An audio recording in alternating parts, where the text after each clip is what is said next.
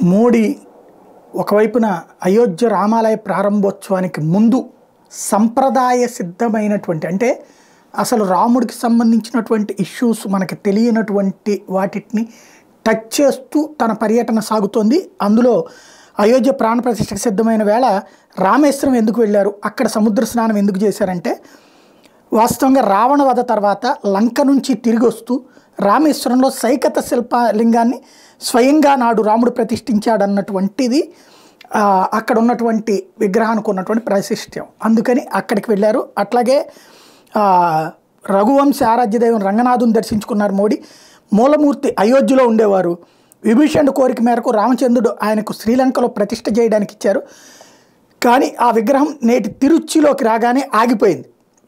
అప్పుడు నాటి చోళరాజు హర్ష హరియ శివ సహకారంతో విభీషణ్ చక్రవర్తి అక్కడే ఆలయం నిర్మించారు.